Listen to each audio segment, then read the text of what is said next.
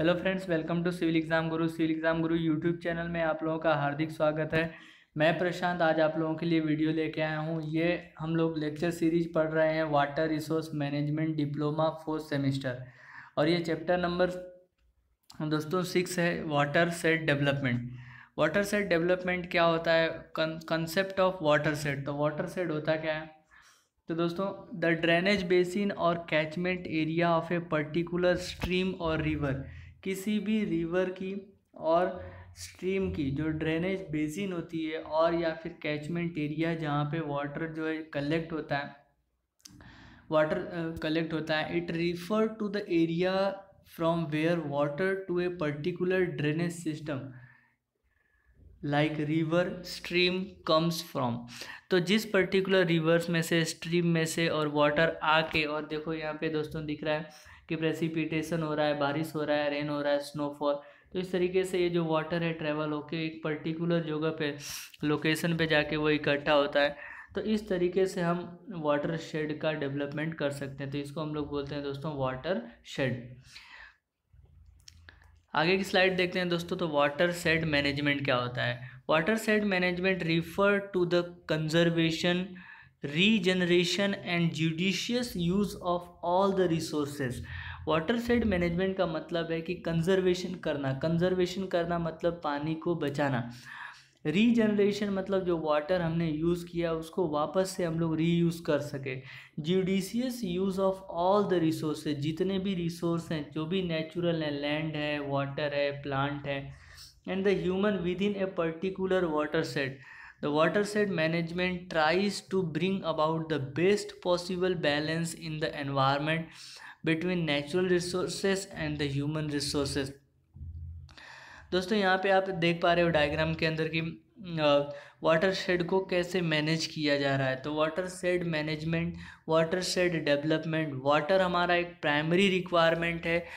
There is no life without the water water के बिना कोई लाइफ पॉसिबल नहीं है। तो इसीलिए दोस्तों, हमेशा वाटर जो है, हमें सेव करके ही रखना पड़ता है। इसलिए उसको हमें क्या करना चाहिए? उसका प्रॉपर यूज़ प्रॉपर मैनेजमेंट होना ज़रूरी है। Concept of watershed component of watershed development watershed development के कौन कौन से कंपोनेंट होते हैं? तो पहला है दोस्तों सॉइल एंड लैंड मैनेजमेंट जो सॉइल है और लैंड है, उसका मैनेजमेंट प्रॉपर करना। वाटर मैनेजमेंट, रिवर एंड खेत तलावड़ी, क्रॉप मैनेजमेंट, क्रॉप, जो भी क्रॉप एक पर्टिकुलर क्रॉप लगा रहे हो। नेक्स्ट ईयर आप दूसरी क्रॉप लगा दीजिए। ऐसे क्रॉप लगाइए जिसमें वाटर की रिक्वायरमेंट कम हो, या फिर ऐसा पर्टिकुलर एरिया जहाँ पे वाटर की स्केसिटी हो वाटर की कमी हो तो उस पर्टिकुलर जगह पे आप कम वाटर वाले प्लांट लगा सकते हो। ए फॉरेस्ट्रेशन हमें प्लांट लगाना चाहिए, ज़्यादा से ज़्यादा हमें प्लांट लगाना चाहिए, जिसको बोलते हैं ए पेस्च्योर और फॉर्डर डेवलपमेंट जो पेस्चर्स होते हैं, जो कैटल्स होते हैं, जिनके लिए घास चारे की ज़रूरत पड़ती है तो उसको अभी हमें डेवलप करना पड़ता है। Livestock management rural energy management farm and the non farm value additional activity तो ये कुछ हमारा वाटर सेड डेवलपमेंट के कंपोनेंट्स हैं, जिसे हमें ध्यान रख के उसके ऑब्जेक्टिव क्या है, उसका मेथड क्या है, वो हमें ध्यान रखना चाहिए। आगे की स्लाइड में बढ़ते हैं दोस्तों तो watershed management measure watershed management क्या मेजर करता है? तो शुरू करते हैं दोस्तों, यहाँ से वाटर सेड वाटर एडप्टिव में watershed adaptive measurement management में क्या क्या चीज़ें जो हैं इंक्लूड करती हैं। तो ये डायग्राम जो है देख रहे हैं आप लोग की वाटर शेड एडप्टिव मैनेजमेंट है। इसमें हम लोग स्टार्ट करेंगे तो conceptual model watershed assessment watershed management plan management decision लेने की क्षमता होनी चाहिए। उसके बाद फिर इम्प्लीमेंटेशन जो भी आपने डिसीज़न लिया है, उसको प्रॉपर वे से इम्प्लीमेंटेशन करना चाहिए। मॉनिटरिंग द इकोसिस्टम उसके बाद evaluation the ecosystem then after identification of the issue. सबसे पहले हम लोग इश्यू को आइडेंटिफाई करेंगे, उसके बाद उसके लिए मॉडल करेंगे, फिर वाटर शेड असेसमेंट करेंगे, फिर मैनेजमेंट प्लान बनाएँगे। इस तरीके से दोस्तों ये पूरा साइकिल जो है एक दूसरे के ऊपर डिपेंड करते हुए कंटिन्यूसली चलता रहता है। Types of watershed watershed दो के टाइप्स देखते हैं। तो पहला है दोस्तों small watershed small watershed किसको बोलेंगे दोस्तों? तो area up to twenty five hundred hectare ऐसी एरिया, ऐसा लैंड की एरिया जो twenty five hundred hectare in a small watershed rain intensity may be considered into the design of culvert, storm, sewer and the small bridges. तो इसको हम लोग small watershed में convert करेंगे। Area जो होगी ट्वेंटी फाइव हंड्रेड हेक्टेयर से ज़्यादा होगी तो उसको हम लोग लार्ज वाटर सेड में कंसिडर करेंगे। They are generally involve in the construction of flood protection work irrigation work and water supply work small water small watershed जो है वो culvert design storm river and the small bridge में helpful होता है। आगे की बात करते हैं दोस्तों नेक्स्ट स्लाइड में तो development work carried out under the watershed treatment watershed treatment के दौरान जो है हमें कौन कौन से डेवलपमेंट वर्क जो है वो करने पड़ते हैं? The construction of the small water storage work छोटे छोटे वाटर स्टोरेज वर्क का कंस्ट्रक्शन करना फ्लड कंट्रोल मेजर जो फ्लड आती है, उसको कंट्रोल करना इरोजन कंट्रोल जो है, सॉइल होता है। सॉइल की जो मिट्टी होती है, एक जगह से दूसरी जगह पानी के द्वारा बह जाती है, उसको हम लोग बोलते हैं सॉइल इरोजन। तो सॉइल इरोजन को भी रोकना है। ए फॉरेस्टेशन करना मतलब मैक्सिमम अमाउंट ऑफ़ प्लांट लगाना। To conduct the various type of survey अलग अलग प्रकार का सर्वे करना। क्लाइमेट के बारे में देखना, जियोलॉजिकल कंडीशन देखना, सॉइल के बारे में पढ़ना और हाइड्रोलॉजी कैसा है वो उसके बारे में भी हमें देख, देखना। ये सब हमारा जो वर्क है अंडर द डेवलपमेंट वर्क हम करेंगे ड्यूरिंग द वाटर से ट्रीटमेंट आगे देखते हैं दोस्तों structure of watershed implementation agency तो पहला होता है दोस्तों गवर्निंग बॉडी कौन सी होती है? तो गवर्नमेंट होती है, उसका कुछ सीईओ होता है, फिर प्रोफेशनल एक्सपर्ट होते हैं, फिर एडमिनिस्ट्रेशन वर्क होता है। प्रोफेशनल में G I S M I S engineering capacity building livelihood और मॉनिटरिंग एवेल्यूशन सिस्टम ये हमारा इम्प्लीमेंटेशन एजेंसी है, उसके स्ट्रक्चर्स हम लोग देख पा रहे हैं। एच आर है एडमिनिस्ट्रेशन है फाइनेंस है, जनरल है। इस तरीके से पूरा एक सिस्टम है जो हमें हमारे वाटर सेट मैनेजमेंट को कंट्रोल करता है। People's participation in the watershed management. ज़रूरी नहीं है कि गवर्नमेंट ही सब वर्क करे, लोगों का भी ये दायित्व तो बनता है कि वो भी क्या करे कि वाटर सेट डेवलपमेंट के लिए, वाटर की बचाने के लिए, वाटर को सेफ़ रखने के लिए वाटर की क्वालिटी मेंटेन रखने के लिए भी हमारे जो लोग हैं, जो आम पब्लिक है, जो जनता है, वो भी क्या कर सकती है, अपना पार्टिसिपेशन कर सकती है। Success of any development programme depend upon the direct participation of the beneficiary any development programme without the people participation only as a government programme on paper आगे की स्लाइड की भी बात करते हैं दोस्तों तो यहाँ पे आप देख पा रहे हो कि सभी एक मीटिंग्स जैसा कुछ हो रहा है। तो एक वाटर सेट इन्होंने डेवलपमेंट करवाने की बातचीत चल रही है।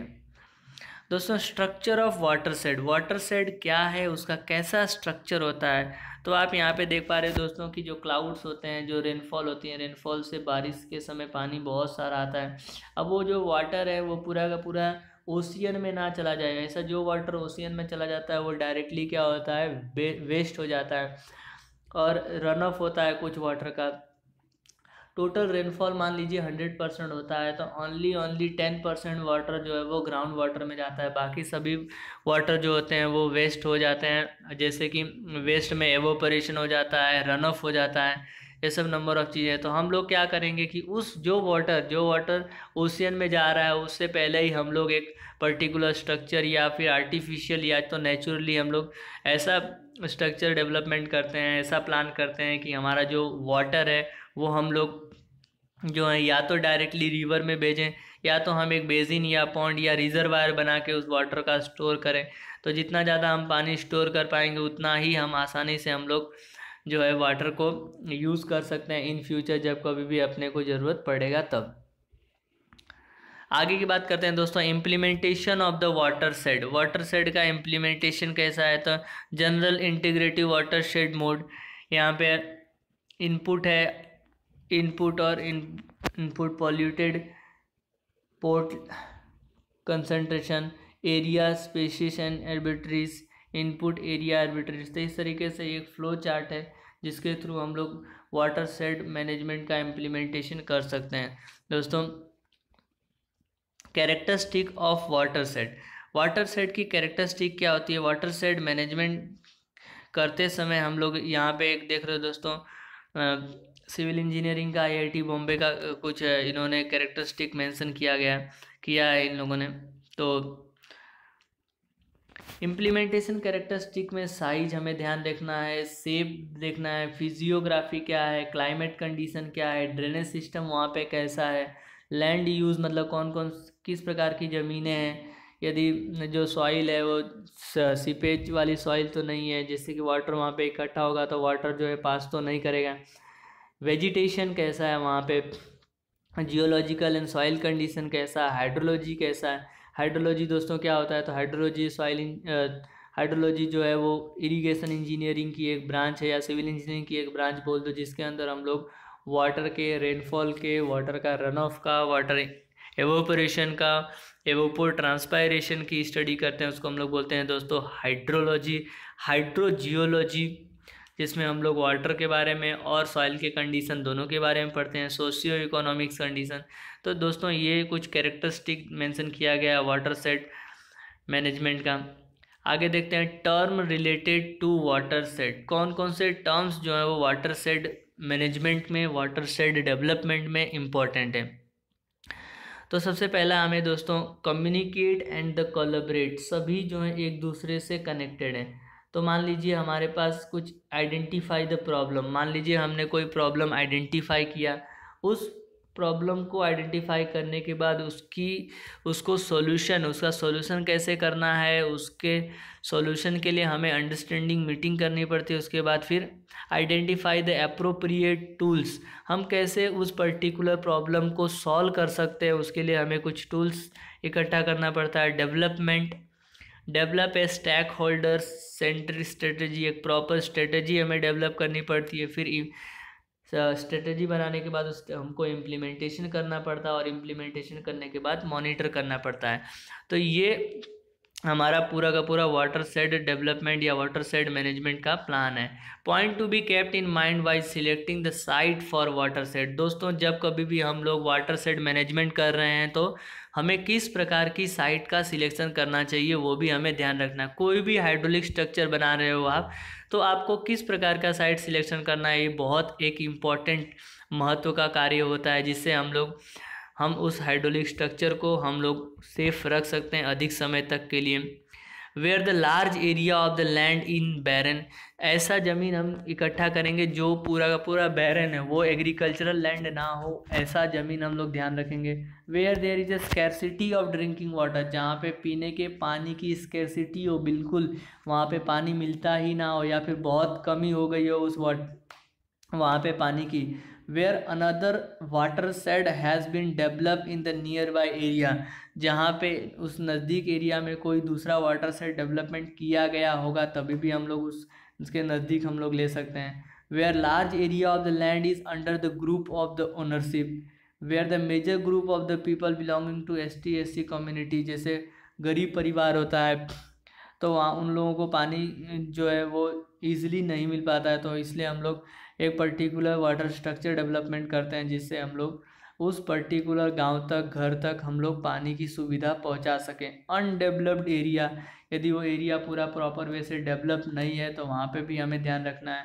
Area under the gram panchayat gram panchayat के area area where the people are economically backward जो लोग इकोनॉमिकली बैकवर्ड होते हैं, जिनके पास ज़्यादा पैसे नहीं होते हैं दोस्तों तो वो आज के ज़माने में हम लोग क्या करते हैं, पानी के बॉटल्स जो है वो मंगा लेते हैं। बट सभी लोग पानी का बोतल मंगाने में सक्षम नहीं होते हैं। लोगों के पास इतना इकोनॉमिकल इकोनॉमिक नहीं है कि वो पीने के पानी को भी बाहर से मंगाना पड़ उनको। तो दोस्तों, हमें जो है वहाँ पे वाटर सेट डेवलपमेंट करना पड़ता है। वाटर सेट मैनेजमेंट के कुछ फॉर्म्स यहाँ पे दिए गए हैं। तो वाटर सेट मैनेजमेंट है ह्यूमन रिसोर्स मैनेजमेंट है और सॉइल रिसोर्स मैनेजमेंट है। तो वाटर जो है, जो ह्यूमन रिसोर्स मैनेजमेंट ये वाटर रिसोर्स और सॉइल रिसोर्स सब जो है वो नेचुरल है। आपको वाटर रिसोर्स मैनेजमेंट करना ही पड़ेगा। इन फ्यूचर्स जो है, पानी जो है हमारा एक बहुत ही इम्पोर्टेंट यूज़ चाहिए। वाटर के बिना जो है हम लोग यूज़ नहीं रह सकते हैं। Aim of the watershed management watershed management का मेन एम यही होता है कि वाटर का स्टोर करना और वो स्टोर वाटर को हम लोग जो कि, कैनल के थ्रू हम लोग उसको फ़ील्ड तक पहुंचाते हैं। यदि हमारे पास वाटर पर्याप्त मात्रा में रहेगा तो ही हम लोग प्लांट उगा सकते हैं, प्लांट उगा सकते हैं। प्लांट से हम लोग क्रॉप्स, प्लांट क्रॉप से काफ़ी चीज़ें हम लोग उगा सकते हैं और उसके थ्रू हम लोग अपने देश के इकोनॉमिक भी डेवलपमेंट कर सकते हैं दोस्तों। Aims of watershed development. Watershed development का एम क्या है? तो दोस्तों, पहला एम है कि to encourage economic development of the area by optimum utilisation of natural resource like land water and forest कम से कम या फिर ऑप्टिमम यूटिलाइजेशन का मतलब होता है कि जितना ज़रूरत है उतना ही यूज़ करना। जितना ज़रूरत होगा उतना ही यदि हम यूज़ करेंगे तो हमारा एनकरेजमेंट इकोनॉमिक डेवलपमेंट होगा। हमारे देश की जो इकोनॉमिक है, वो डेवलप होगी। वहाँ जो है रिसोर्स की कमी नहीं आएगी और रिसोर्स का प्रॉपर यूटिलाइजेशन होना चाहिए। To preserve the ecological balance हमें जो है इकोलॉजिकल बैलेंस बनाए रखना है।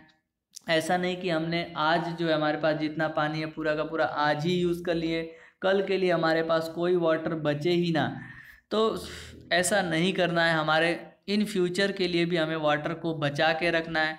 To retard the adverse effect of drought जिसे दोस्तों जिस पर्टिकुलर ईयर में ड्राउट पड़ता है, सूखा पड़ जाता है तो उस समय हम लोगों के पास इतना प्रॉपर मैनेजमेंट होना चाहिए वाटर का कि हम लोग वहाँ पे पानी की सप्लाई कर सके। देखा ही होगा दोस्तों, in summer season ground water का जो लेवल है, इतना नीचे चला जाता है कि हमारे बोरिंग में, हमारे मशीन में या फिर आपके गाँव घर के अंदर जो नल लगा है, उसके अंदर भी पानी नहीं मिलता है।